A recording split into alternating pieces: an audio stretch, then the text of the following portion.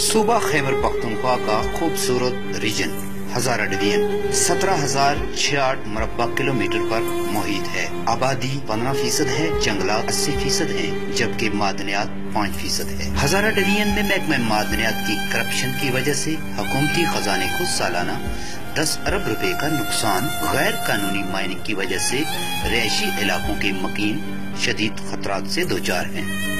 कानकुनी करने वाले तीस हज़ार से जायद मजदूरों की जिंदगियाँ दाव पर लग गई। मादनी वसाइल से माला माल हजारा डिवीज़न में कानकनी के ज़रिए सालाना अरबों रुपए की मादनियात निकाली जाती है, जिसमें soapstone limestone phosphate chromite wire clay granite कोयला आयरन और copper antimony laterite marble quartz manganese gypsum tourmaline variety, अब्रक, mica, gemstone, crystal quartz peridot, ruby नीलम और दीगर आला मैार की मादनियात शामिल है।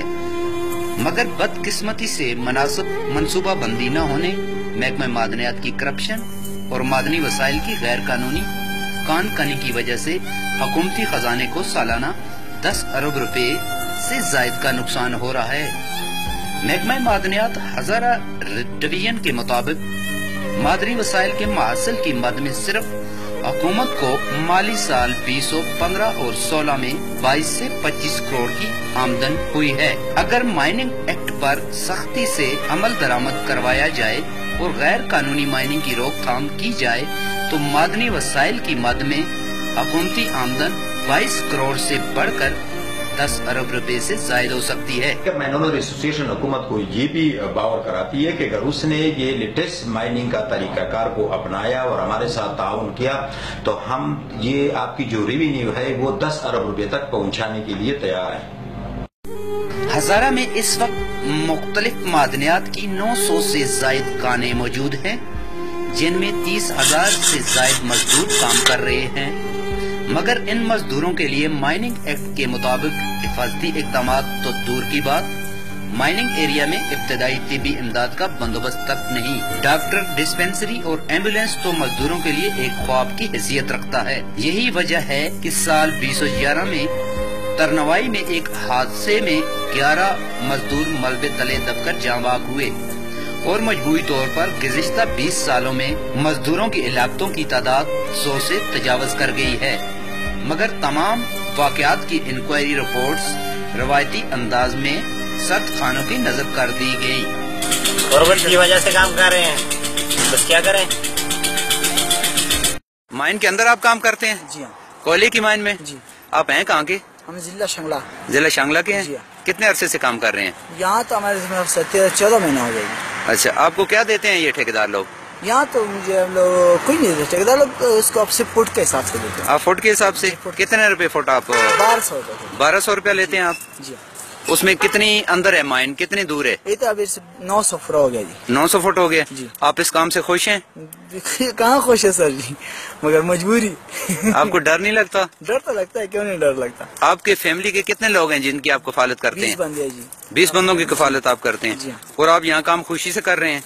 खुशी से कौन काम कैसे कर सकता है कॉलेज का काम? ये तो मौत से खेलना चाहता है। मौत से हर टाइम मौत में रहता है। अच्छा। मगर क्या करें मजबूरी है। हमारे ज़िले शंगड़े में ऐसे का काम नहीं है कि हम वहाँ कोई काम से काम करे न कोई ऐसे रोज़गार है। बस यहाँ करे कोयले का काम करते हैं। गैर कानूनी माइनिंग से जहाँ हुकूमती खजाने को अरबों का नुकसान हुआ वहीं पर बेशतर इलाकों में कानकुनी के लिए जिन इलाकों का इंतखाब किया गया, वहाँ रिहायशी आबादियाँ मौजूद हैं। माइनिंग सेफ्टी एक्ट 1923 के मुताबिक आबादी सड़क से 300 फुट के फासले के अंदर कोई भी माइन नहीं लगाई जा सकती, जबकि शेरवान चलहतर डन्ना, तरनवाई, हवेलियाँ और हारीपुर में 40 से जायद काने रिहायशी इलाकों में लगाई गई हैं। जहाँ ब्लास्टिंग की वजह से रिहायशी मकानात, मसाजिद, स्कूल इतने मुतासर हो चुके हैं कि इनमें दरारें पड़ चुकी हैं। शेरवान के गाँव चलेतर में 500 से जायद नफूस आबादी के एन नीचे पहाड़ को खोखला कर दिया गया। मुस्तकबिल करीब में ये खोखले पहाड़ इन रहायशी आबादियों के लिए एक बड़े साने का सबब बन सकते हैं। डन्ना तरनवाई, चलेतर, शेरवान, हवेलियाँ के आवाम बार बार एहतजाज करके मुतलका जिम्मेदारान से मुतबादल जगहों के लिए मुतालबा कर चुके हैं, मगर हुकूमती सतह पर इनकी कोई सुनवाई नहीं हो सकी। उन्नीस से शुरू की शुरू की है, और आबादियाँ हमारी तो ये दो तीन सौ साल पहले पुरानी है, जो हमारे बड़ों के कहने के मुताबिक। तो अगर ये जदीद तर्ज पे माइनिंग होती तो इतना बड़ा नुकसान नहीं होता। लेकिन ये जदीद तर्ज पे क्या ये तो टेम्परिंग भी सही नहीं करते हैं जिसकी वजह से अंदर से फालें कर करके माल निकालते हैं। मदनियात अलग ज़ाय हो रही है हमारा नुकसान अलग हो रहा है और हमारा कोई पुरसान हाल नहीं है। महकमे को महकमा बगैर किसी देख, देखे वर्क आर्डर ठेकेदारों को दे देते हैं और वो अपनी मर्ज़ी से जिस तरह चाहते हैं काम करते हैं ये पीछे मकान को आप देख सकते हैं ये मकान का ये जगह पहले बराबर थी, ये कितनी नीचे तक, कम से कम बीस फुट नीचे ज़मीन में धंस चुकी है, मकान गिर चुका है। और ये एक ही मकान की बात नहीं है, यहाँ मायने के ऊपर जो भी आबादी है, सब इसी तरह खतरे में है। हजारा डिवीज़न में मौजूद 900 सौ जायद कानों में से एक भी कान ऐसी नहीं, जहाँ जदीद और बैन अवी मैार के मुताबिक कान कनी की जा रही हो। कानून के मुताबिक एक एकड़ में सिर्फ़ एक कान लगाई जा सकती है। जबकि महकमा मादनियात की मिली भगत से सिर्फ़ शेरवान के इलाके बगला में एक ही जगह मोतसिल नौ काने लगाई गई हैं। चलेतर में पाँच एकड़ में इक्कीस मायने लगाई गई हैं। बांडी निकड़ा में सात एकड़ में सत्रह माइंस लगाई गई हैं और इलाके के पहाड़ बिल्कुल खोखले होकर रह गए हैं और मजमूरी तौर पर इन पहाड़ों पर आबाद, कंगरोड़ा, त्रिंगलपान, चलेतर, अरनोई, डन्ना खंडाकू तरनवाई कमावा के तीन हज़ार ऐसी जायद मकीन मौत के मुँह में ज़िंदगी गुजार रहे हैं। मगर सूबाई हुकूमत के जिम्मेदारान के मुताबिक माइनिंग को जदीद हदूद पर इस्तफार करने की कोशिश की जा रही है।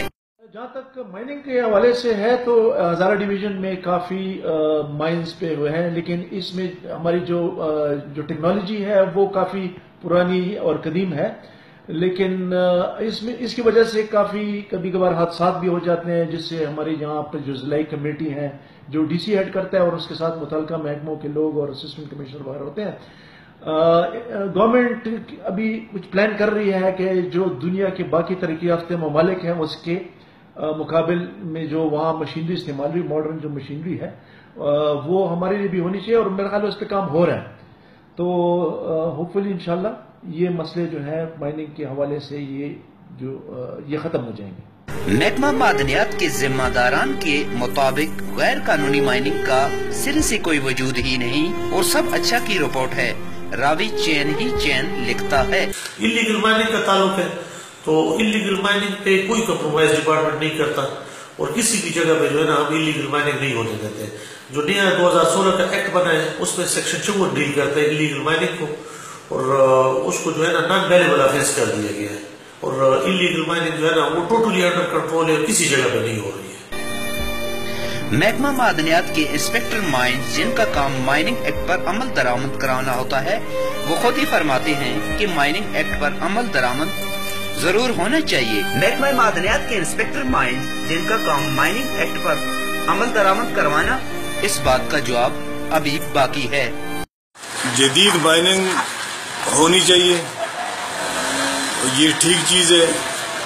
और इसके लिए inspector of mine, chief inspector of mine जो है, वो अपनी कोशिशें जो है ना, वो हमतन कर रहे होते हैं। ठीक है ना?